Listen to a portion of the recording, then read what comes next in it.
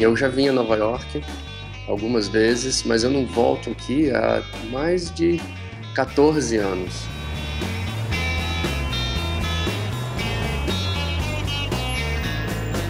O criador não quer um contorno constante, não quer um contorno cristalizado, ele quer morfar-se, né?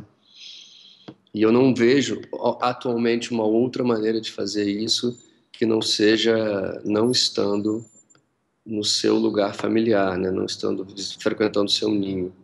Entre o século XIX, XVIII, quando um homem queria se saber do que era feito, ele ia para o mar, né? O mar era o lugar da aventura, o lugar de.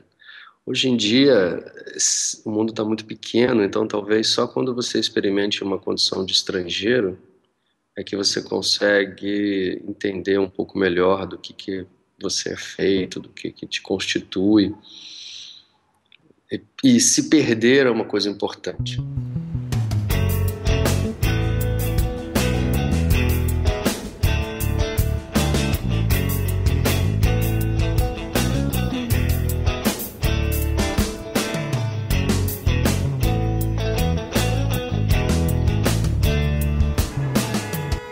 Nova York é uma cidade curiosa, assim, porque eu acho que é uma das cidades mais filmadas do mundo.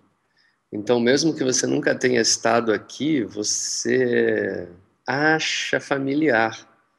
É como se você sobrepusesse vários frames de vários filmes que você já assistiu nas esquinas que você está caminhando, e isso causa uma sensação nova, mas ao mesmo tempo uma sensação de conforto, porque a gente visitou de alguma forma né, esse lugar. É, na verdade eu, eu, eu conduzo as coisas de uma maneira sempre em cabana agora, né? Eu não, eu não me afeto tanto com a velocidade da cidade. Eu acho que é possível você é, desacelerar as coisas, não, não correr atrás do rabo do cometa o tempo todo, não compensa, sabe? Cansa. Então, é, mesmo aqui, tendo acesso a tudo, tendo um movimento de 24 horas para qualquer direção, eu me mantenho mais devagar, com uma velocidade menor.